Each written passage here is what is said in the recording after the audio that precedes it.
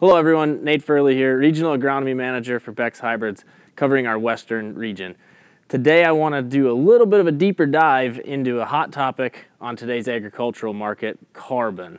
The carbon that can deliver you an ROI in your agronomy program, not the carbon credits that is the buzzword of today. Uh, carbon credits have been around for decades, but the recent uh, monetary value that they've really gained is why they've become such a hot topic.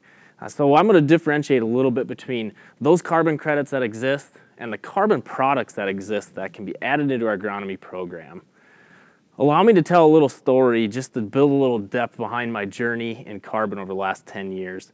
In February 2009, uh, my brother and I decided to take my father to Florida alligator hunting for his birthday. Uh, my brother at the time worked for a videography company really focusing on hunts. And so part of the deal is we had to shoot a commercial for the reel we were using on our bow and arrows. And I didn't want to partake in that, neither did my dad. So we were standing off to the side, and the local landowner that we were hunting on approached and said, uh, son, what do you do for a living? I said, well, I'm an agronomist for a seed company. He said, really? You're an agronomist? Well, get in the truck. I got to show you something. And I thought to myself, well, I'm not here to work. I'm kind of here to hunt alligators, but I guess we got a little time, so I jumped in the truck. And it was a life-changing moment, one of those connections that we make as humans that really has an impact in the future that you maybe don't know at the time. And what this farmer told me or showed me were two citrus groves on each side of a water canal. And one looked like my trees do in Minnesota in the middle of winter, no leaves, only just tree and on the other side, a nice green, lush grove full of oranges and getting ready to harvest. And he said, since you're an agronomist, he said, tell me what's wrong with that grove, why it doesn't look like this one. And uh, I thought, well, it's not corn, it's not soybeans. Uh, so uh, really, I didn't know. And he said, it's not that hard, young man. One's dead and one's not. And, and really what I gathered out of that was, you know, that sometimes we overlook things in our agronomy programs. And really, I said, what was wrong with that grove? And he said, it's salt. He said, the more of your snowbirds that you send down here to build retirement communities, the more water pressure is getting taken off our deep wells, allowing ocean water to penetrate those. And this particular well had an EC level about 60% of what ocean water was. And really, he salted his own grove to death because it looked like it had a water deficiency, so he kept adding more salt water to it. The other grove, on the other hand, he had added in a product, a carbon product, to mitigate those salts. It was one of those side-by-sides that we all hope to have on our, on our farms when we're trying something new that really stood out with this farmer. Now, I didn't know where that would go, and I thought, well, this is interesting. And he said, well, you got to meet the guy who founded this product. He just lives down the road. And so I ended up meeting him. Uh, long story short, we didn't hunt many alligators that day. I spent a lot of time uh, really learning about what carbon can do in mitigating salts in those Florida citrus groves. And, and really I learned with this carbon product that you know, they don't just mitigate salts, but they can also hold nutrients and they're a food source for biology and, and they really can be beneficial in an agronomy program. So like any good farmer, we decided we'd buy some of that product and try it on our farm. Uh, the manufacturer decided, well, you don't have to buy it, we'll give you some for a couple, couple acres. So dad and I, we did some side-by-sides. And this picture dates back to 2010 when we did our first side-by-side. And where I'm from on our soils, we have heavy salt pockets and high pH soils. And what we noticed is through those high salt, high pH soil pockets, that we saw more stand, better, better stand, more plants, and ultimately it gave us an 11 bushel response in those pockets. When we stretched that across the whole field, we saw a five bushel difference. Now really what this led me to think about was that you know, we saw a yield increase on a crop without adding a fertilizer source, without adding any nutrients. And so it, really led me on this journey of exploration and, and making research so that we can identify what other products exist out there that are not just our standard NPK or nutrients that we can add to the soil. And so we think about carbon, really carbon is everywhere. Uh, carbon is, is an element that holds a lot of things together. Uh, it, it has the ability to, to carry and deliver. Uh, carbon really is an essential element in life itself. And it dates back as long back as creation. Uh, so when we think of carbon, and I ask farmers, they often think of that, that carbon source that we see in rail cars out west, coal. Uh, and, and we maybe think of that, or we think of you know what we hear today, the carbon in the atmosphere. Uh, for you men out there, some of that carbon is the greatest investment that you've made in your life, and for me, the best sale that I've ever made, and that's that diamond, that investment or that, that marriage proposal. And, and so carbon holds many different forms. In its purest form, it's in that diamond. It's very hard, very small, compacted, and it has the ability to bind and stay together. When we think of carbon credits, we're talking about the carbon that we can't see, that atmospheric carbon, that CO2, carbon dioxide. I want to put this graph up here because that carbon dioxide, CO2, is not a bad thing. It's getting a bad rap because of too much CO2. Uh, just like banana cream pie for me, too much becomes a bad thing. And so carbon, CO2, also been around since before man was on this earth. It's a natural part of a cycle that's extremely important for life, especially plant life. And looking at this cycle, we're taking CO2 in this photosynthesis process and converting it into a sugar source, that lifeblood for that plant, that, that, that, that life source that's delivering nutrients and helping build tissues. And so that photosynthesis process, without that, we wouldn't have this plant life. And so we think about how much these plants are pulling that CO2 out of the air. They're capturing that carbon and building tissue out of it.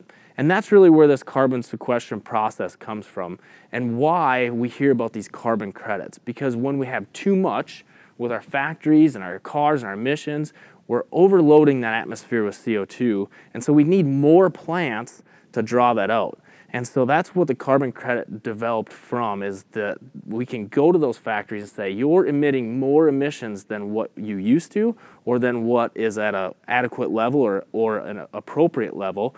So let's pay forestry or pay agriculture to plant plants that can capture that carbon and put it back into the soil, put it back into the sink. So we're taking money and carbon from the source and putting it into the sink. And what I mean by that sink is what's below ground. And so where I'm from, native prairie soils, we have a lot of carbon. Not to be not to be confused with organic matter because there's available carbon and then there's organic matter, which is that non-available, that carbon that's going to stay in that sink for a very long time. Today, we're still farming soils at 5.1 average organic matter, even though they've been plowed and cultivated for decades, being farmed by my fourth, fifth generation uh, grandfather before me.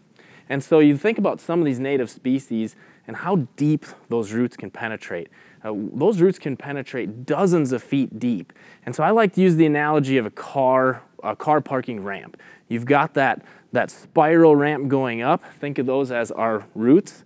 You've got those vehicles going up and down. Think about that as that carbon, that carbon being moved and then placed at different levels on that parking ramp. Same thing is happening with that soil, capturing that CO2, moving it through that plant as it builds tissue, and then storing it at different depths and levels in the soil, really creating that sink. And so the more vegetation we have, the more CO2 we draw, the more money uh, that that value has for that growing crop. That's the carbon credit uh, policy or the carbon credit uh, availability to farmers and forestry that exists today.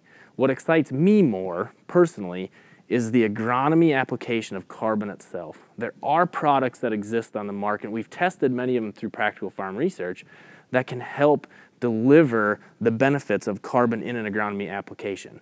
Uh, for example, we'll start with the, the ability to eliminate those heavy metals or tie up those salts. So we think of all the things that we're doing. Salt is the main carrier in a lot of our herbicides and in a lot of our fertilizers. So how is that soil mitigating that salt? How are we starting to try and reduce those salt loads? Carbon can be a, a really great addition to that. And I'm reminded of, of northern Minnesota.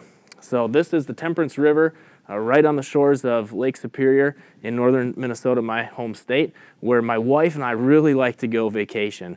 Uh, along with the Temperance River, there's the Cascade River and many other rivers flowing into Lake Superior. And as you know, the Great Lakes don't have salt. They're freshwater lakes. And I always wondered, you know, how does that fresh water not get penetrated by all that salt water? How is there that existence from fresh to salt that exists when we have barges and ships leaving Duluth and hauling our materials all the way around to that ocean? And an aha moment hit me when we were on a walk along that Cascade River. See, all the rivers that flow into Lake Superior are dark. And actually, there's a sign along the Cascade River that says, Why do all the rivers look like root beer? And really, they look that way because all that watershed coming into Lake Superior and along the shores of Michigan and the other Great Lakes travel through peat bogs and they collect humic substances, carbon. Collecting that humic substance and carbon elevates that carbon level in Lake Superior and all the Great Lakes, creating where it hits the ocean almost a barrier where you actually they have proof of fish swimming right up to some of these salt reef barriers. And so uh, I'm always fascinated by nature, and I think of you know God's just creation, and and these things happen long before we were able to put signs up there that explain it carbon delivering through those river into the freshwater, just eliminating those heavy metals and those salts in that freshwater, keeping in freshwater lakes.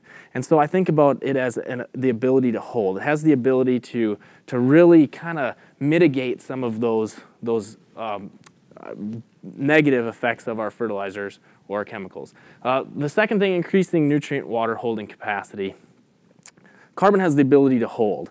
Uh, carbon's been proven to hold all forms of specifically our nitrogen fertilizers. So think UAN, three different forms of nitrogen in one. Okay, we talk about splitting nitrogen all the time. UAN itself is a great source of nitrogen because it has multiple different uh, formulas or multiple different sources of nitrogen in there. So not just splitting the timing, but splitting the form of nitrogen as well. Well, carbon has the ability to hold those which means that it holds them from moving, it holds them from leaching, keeping them to a soil particle, putting them where we want them. And that leads me to what we tested in practical farm research, and that's our starter additives.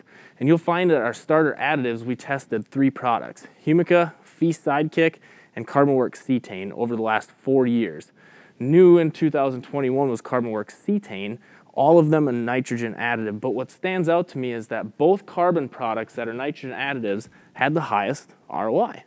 And so a carbon or a nitrogen additive here adding nutrients, carbon additives on the sides adding no additional nutrients, just making that solution a little more uh, friendly for the soil. Plants may be a little more receptive to it.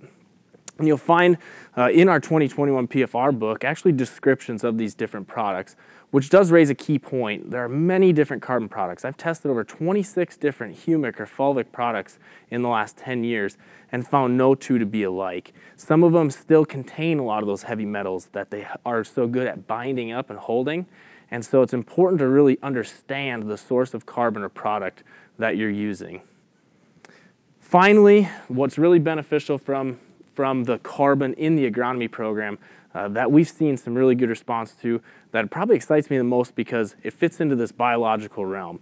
You know, what are we doing in this biological market? Are we adding biology to the soil or are we stimulating it? Are we feeding the biology? And that's what carbon becomes. It becomes a food source for that, for that molecule. It also helps hold some water to the soil particles, allowing for more oxygen to stay in the soil. And so when you think of soil biology, I, I, like to ask this question, you know, for us as humans, you know, what would kill us first? The lack of which one of these would kill us first? And the answer is pretty clear. It's oxygen. We can go maybe two, three weeks without food, maybe a week or two without water, but we can't go very long without oxygen. And so when we think of that soil biology, we think about, you know, what limits them as well, and it's oxygen. Uh, the picture there shows some nitrogen deficient corn at V6, that corn actually has 400 pounds of nitrogen applied to it. It was a study I did a number of years ago on really wet, heavy, saturated soil. And we saw nitrogen deficiency, so we tried to cure it with more nitrogen. The reality is, is we could have put more and more and more on, but the biology that convert that nitrogen to plant available lacked oxygen. The soil had too much water in it. And so these higher carbon soils are adding carbon to some of our low carbon containing soils can help hold some more of that water. And so it's all about the balance. It's all about balancing that food source, the oxygen, the, the energy the, the, that comes from water. It's all about finding that balance. And again, thinking about that biological process, There's a lot of things we don't know. There's a lot of things we don't know about the biology that exists. We think we're getting pretty good at this nitrogen one, knowing that Nitrosomonas and Nitrobacter are two of the key bacteria. But again, for them to work, they need that balance of water, oxygen, and food. So what are some of the products that we can put out there that will stimulate, will feed as that food source for the biology? And simple, they're sugars. When we think of table sugar, what we might sprinkle on our food to sweeten it up a little bit, it's a simple C6H12O6. There's carbon, hydrogen, and oxygen. And we go back to that photosynthesis process. That plant-built sugar is actually C12H22O11. So we're capturing a lot of that carbon from the CO2, converting it into a, a source of energy for the biology. Uh, it's, it's in the sucrose form. And so when we look at practical farm research, we've been testing sugar products in many different applications. Specifically what we've printed is our foliar applications of sugar. And we saw that all of the sugar products we tested showed a positive yield. These four showed us that positive ROI, earning that practical farm research PFR proven stamp. And so we think about foliars, we think about feeding biology, you know, carbon, that food source form, becomes, a, becomes that source through this C6H12O6, those sugar products, getting that carbon from sugar. So uh, finally, you know, what's the carbon recommendation? Uh, if we're going to explore carbon in an agronomy program, there's really four key things that I want you to take away. Uh, choose a clean carbon product. Know the carbon product that you're using. Uh, it can be very difficult to find some of these, um, but trust in, in data, trust in research. There's a lot of research starting to come out with some of these humics and fulvics and carbon products, but the key is, is choose one that's clean. Choose one that has the ability to hold the most. Uh, use with fertilizer applications. Uh, all of our UAN applications, we're putting in a carbon source, whether it's humic or CetaiN, to help hold and just to help balance that, that nitrogen cycle out a little bit. Uh, sugar applications. You know, we've actually started to test sugar in our stress mitigation studies here at PFR because there's an, a positive effect on mitigating that stress that Flexstar Cobra would have on that plant, reducing that bronzing that we can see with our eyes. And so sugar has its fit in every foliar application. And then most importantly, use the correct rate. It's just like most products that we have. Don't cut corners on these products. Uh, they're not a big investment to get into, and oftentimes uh, the carbon source in order for it to work properly, it has to be followed to that use rate. So you'll see some carbon products have maybe 8 to 12 ounces per acre on a use rate, and some may be at a gallon to a gallon and a half. So whatever manufacturer recommends, use the correct rate to see the best performance out of that. So I hope this helped kind of clear a little bit between what those carbon credits are and what some of the carbon products we can apply in our agronomy program are. If you have any questions, feel free to reach out to me. I'd be happy to answer them. Thank you.